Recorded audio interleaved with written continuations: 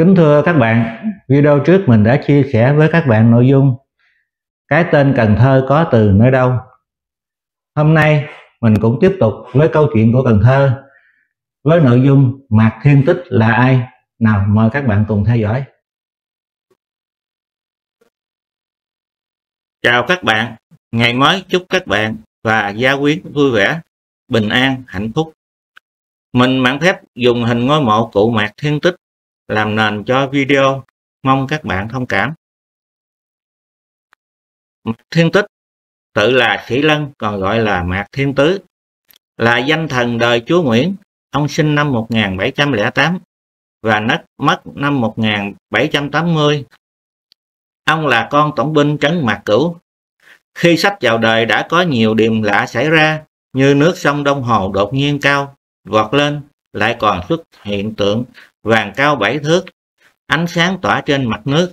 Một nhà sư người mang trông thấy, liền nói với mặt cửu.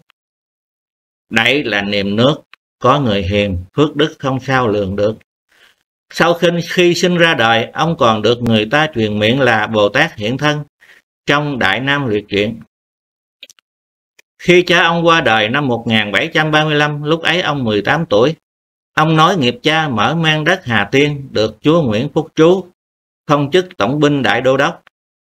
Ông tiếp tục sự nghiệp khai khẩn miền Tây Nam Bộ, biến vùng đất Hà Tiên trở thành đất văn hiến, hồn vinh và ông cũng nhiều lần chống trả lại các cuộc tấn công của các lân bang như Simla và Chân Lạp. Năm 1757, Nặc Nhuận có ý muốn làm vua Chân Lạp, liền dân hai xứ Ria Chabian và Ba Sắc tức vùng Trà Vinh và Ba Thắt. Nhưng lúc đó, Nặc Nhận bị con rể giết chết, cướp ngôi, con trai là Nặc Tôn chạy sang cầu cứu Hà Tiên. Mạc Thiên Tứ đứng ra sắp xếp xin chúa Nguyễn cho Nặc Tôn làm vua chân lạp. Chúa Nguyễn Thuận và sai Mạc Thiên Tứ cùng tướng sĩ năm dinh hậu tống đưa Nặc Tôn về nước để tạ ơn Nặc Tôn dân Tầm Phong, Long là vùng đất giữa sông Tiền và sông Hậu cho chúa Nguyễn. Riêng họ Mạc, nặc tôn dân Nam Phủ, Hương Úc, Cần Bột, Trực Sâm, Sài Mạc và Linh Quỳnh để đền ơn giúp đỡ. Mạc Thiên Tứ đem hết đất ấy dân cho chúa Nguyễn, chúa Nguyễn cho sát nhập vào hạ tiên trấn, giao cho họ Mạc cai quản. Mạc Thiên Tứ chia đất đó thành hai đạo. Thứ nhất, xứ Rạch Giá là Kiên Giang đạo, Thứ hai, xứ Cà Mau là Long Xuyên Đạo, đặt quan cai trị, chiêu lập dân ấp. Năm nhâm thìn 1772, vua Sim là Phi Nã Tân đem quân tràn sang đánh phá Hà Tiên. Ông bất cẩn thất thủ thành trì, quân giặc giết cả dân chúng trong thành, ông lui về Trấn Giang.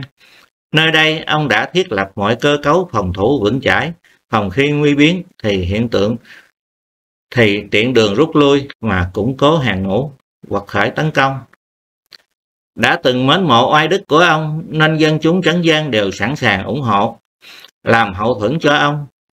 Do đó ông đẩy lui được quân Sim, đồng thời càng thêm nỗ lực tô điểm Trấn Giang ngày một tốt đẹp hơn lên cả về mọi mặt, chính trị, kinh tế, văn hóa và quân sự. Chúa Nguyễn Phúc Thuần đóng giữ ở đất Trấn Giang và dốc sức phát triển vùng đất này. Lại một điều nữa càng khiến ông thêm quyến luyến trấn gian. Coi như đây là giang sơn của ông sau Hà Tiên. Ất dị 1775, chúa định vương Nguyễn Phúc Thuần, tức là Duệ Tông, cùng với cháu là Nguyễn Ánh chạy vào Nam, tạm lánh quân Tây Sơn, đang thắng thế truy kích. Hay tin ông đi thẳng lên gia định, bái yết. Chúa Nguyễn Nguyễn hứa trung thành, Chúa Nguyễn phong ông là quốc lão đô đốc quận công. Rồi đó ông trở về Trấn Giang, huy động quần chúng phù tá Chúa Nguyễn chống Tây Sơn. Dân chúng Trấn Giang hết lòng tin tưởng ông, nghe theo lời ông hiệu triệu. Chẳng bao lâu Tây Sơn xua quân tràn xuống Hậu Giang. Miền Tây binh lửa dậy, thảm họa nội chiến tràn lan. Con Mạc Thiên Tứ là Mạc Tử Xanh cầm binh chống nhau với quân Tây Sơn bị tử trận. Thấy con đã hy sinh cho chúa Nguyễn, nhân dân Trấn Giang đã đóng góp máu xương khá nhiều trong chinh chiến, ông đau lòng khôn xiết.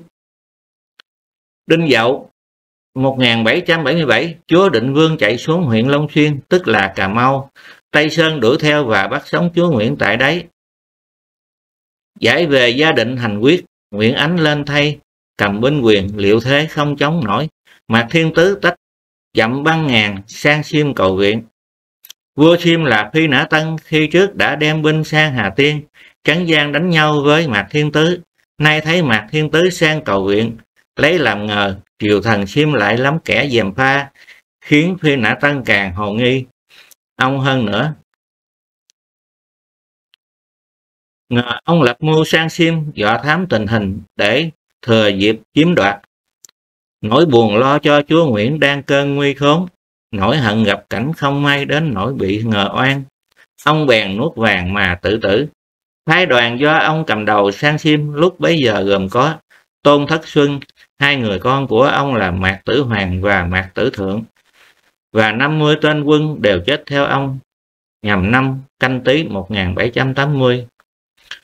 Cuộc đời và sự nghiệp mở mang bờ cõi của ông chấm dứt, nhưng hậu duệ của ông là Mạc Tử Dung và Mạc Tử Sanh đã nối tiếp ông và cũng hy sinh anh dũng trên chiến trường. Qua video hôm nay, chúng ta rút ra được bài học quý báu như sau. Làm người sống phải nghĩa nhân tích phúc tích đức. Sách có câu tích ác phùng ác tích thiện phùng thiện. Người có phúc đức đầy đủ thì cuộc sống sung mãn không bao giờ chấm dứt. Thưa các bạn video mạc thiên tích là ai đến đây là hết rồi. Cảm ơn các bạn dành thời gian quý báu để theo dõi. Tạm biệt các bạn hẹn gặp lại.